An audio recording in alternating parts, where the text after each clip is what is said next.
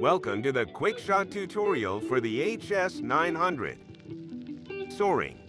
Enter the quick shot interface and select soaring. Click the icon or select. You can set the ascent height. The drone will lock onto the target and automatically begin recording and initiate a motion of ascending while automatically adjusting the camera downward. Rattle Retreat. Enter the QuickShot interface and select Rattle Retreat. Click the icon or select.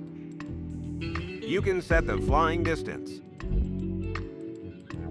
The drone will lock onto the target and automatically begin recording and initiate a backward ascent motion.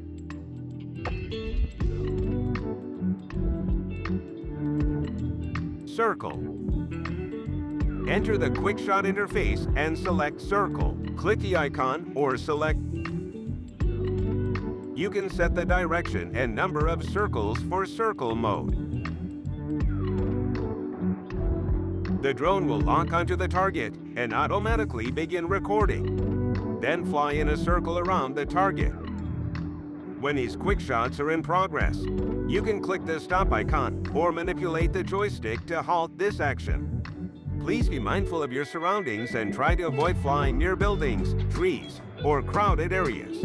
Always adhere to local regulations. Thank you for watching. Enjoy your flight.